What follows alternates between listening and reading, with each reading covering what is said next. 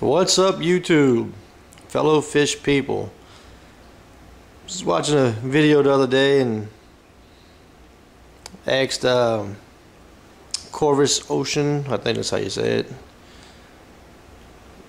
They were asking what should they do a video about and I said do one of the your favorite fish stores the other day when you went to go get some uh, some rock for your new tank.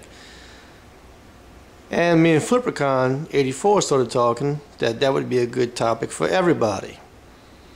I did one a while back, but I'll do another one. But everybody's got a camera. We all make videos. So, yeah. So, next time you're out and about and you stop by your favorite LFS, man, bring the camera with you. Show us what you got in your area of the world. United States, Europe, wherever. Be curious to see what everybody's dealing with. And I'm out.